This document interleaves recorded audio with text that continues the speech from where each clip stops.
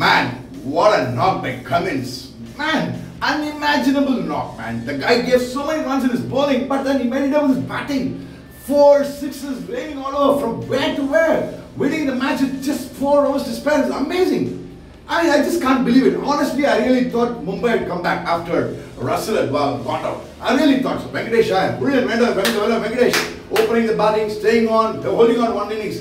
But this Cummins not, I just can't believe it.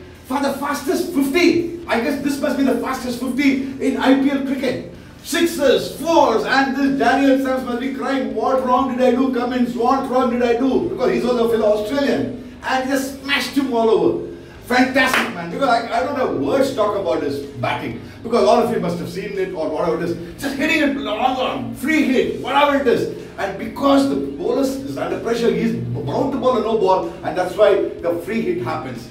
Done, Cummins. I mean, it's an outstanding show. Unbelievable match. Honestly, I really thought at one stage Mumbai had done it. But then Venkatesh Iyer, hats off to you. I don't know why.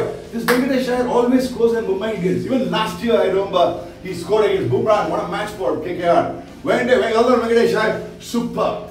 But I really thought the Mumbai Indians fought back very well. Suryakumar Yadav coming back and then Tilak Varma, the good partnership. Pollard ahead just uh, three balls, three sixes and 20 balls, uh, 20 runs and just five balls. I thought, okay, Mumbai done it. But this man coming, that's what dear viewers, dear friends, always remember one thing. One over can change the match. One no ball. The same thing happened in RCB RR match yesterday. No ball. One over is just enough to finish up an IPL match. And you saw it today again happening, just like yesterday, between RR and RCB. Cummins, I don't have any words, boss. I don't want to put all, but I can't use adjectives for the knock he played. It's just unbelievable. Outstanding. When he's come, Russell has got out. And a, as a bowler, just imagine the mental makeup. He's got thrashed himself for 40 odd runs. And he must have come with this kind of mindset, man, I have to prove my worth.